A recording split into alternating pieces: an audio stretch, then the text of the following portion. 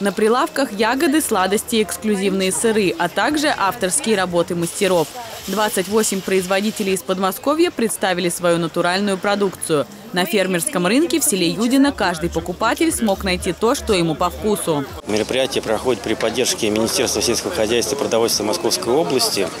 Имеет положительные отзывы как со стороны фермерских сообществ, так и со стороны покупателей, так как э, здесь можно приобрести продукцию непосредственно у производителей. Попасть на гастрономическое событие может любой производитель, у которого есть крестьянско-фермерское хозяйство и свое производство. Главные критерии, по которым отбирают участников – качество и натуральность продукта. Продукция, которая здесь представлена, ее можно не встретить в магазинах, потому что у магазинов большие требования, там, объемы, а здесь любой производитель может принять участие и показать свою продукцию, быть ближе к населению.